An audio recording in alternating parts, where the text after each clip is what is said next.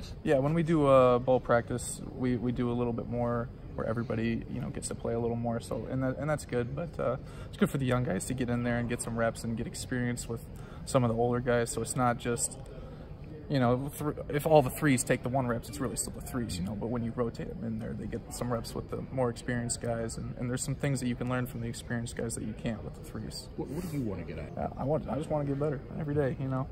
Um, but the, the bowl the bowl practice is good because you know it brings the team together, which is you know such a long season. It, you know, team team wears down over you know, however many weeks this is. But you know, the bowl pra practice is good because it brings everybody back together and it kind of brings us towards our one purpose. Yeah, absolutely, absolutely. It's the same with bye weeks, but this one's a little bit longer. But you know, everybody got back, whatever it was last week after a couple of days off, and it's just like you know everybody's body feels good, and it's it's just a completely different atmosphere. It's tough to divvy out reps among like three, four people. Mm -hmm. So obviously that's tough, but uh, I've just been focused on putting in time after practice, on the weekends, stuff like that, when we're not doing anything. Just uh, try to better myself.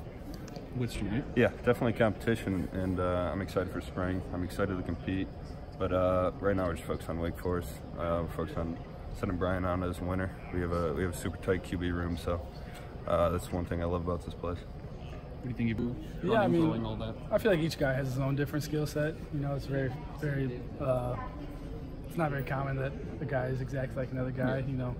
But uh, I think we're all different and uh, we all do different things well. You know, I just kind of try to go into every game and, you know, have that same mindset of just being ready, you know, because you never know what's going to happen. But, uh, you know, obviously it's been Brian's year and uh, I thought that he's he's played well and done what he's supposed to do. And, uh, you know, but other than that, I mean, just being ready, being ready at all times for for anything. Um, you know, there have been a few a few different practices where I've been able to get in with the first group, and you know, just keep focusing on doing the right thing. You know, I feel like if you the more you do the right thing, uh, things are going to work out, and just focusing on you know just doing everything the right way. Side, I guess. Yeah, for sure. I mean, going in and helping out the defense and being on the scout team the whole year. You know, you're away from the playbook. Uh, you're not in as many meetings, but you know, just trying to, me and Kate are living together right now, so we're trying to just kind of stay on top of things and, and stay in the playbook and, and just keep learning, you know, grabbing a little something every day. How comfortable do you feel in that aspect and how far along, I guess, do you think you are, you know? I feel pretty good about it, you know, uh, that's probably a better question for one of my coaches, you know, who are, who are uh, analyzing me, but, you know, I feel pretty good about it. I feel confident when I go out there and able to be able to execute, so I feel pretty good. Have those two guys been on the scout team?